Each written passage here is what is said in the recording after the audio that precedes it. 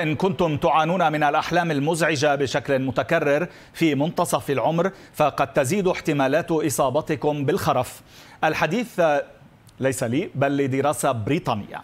صحيفة The Guardian نقلت الدراسة التي توصلت إلى أن من يعانون الكوابيس مجددا في منتصف العمر قد يتعرضون لمعدل أسرع من التدهور المعرفي وبالتالي الإصابة بالخرف مع تقدمهم في السن.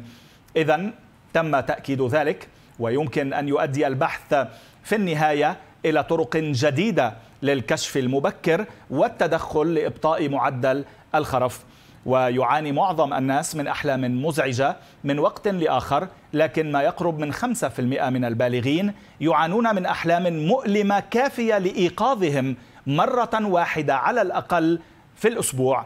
وجد البحث الذي نشر في eClinicalMedicine أن من عانوا من أحلام سيئة مرة واحدة على الأقل في الأسبوع كانوا أكثر عرضة بأربعة أضعاف لتجربة التدهور المعرفي خلال العقد التالي من حياتهم.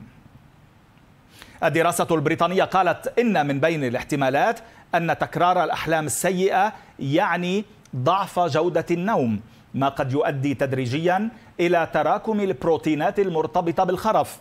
أما الاحتمال الآخر فهو وجود بعض العوامل الوراثية التي تدعم كلتي الظاهرتين.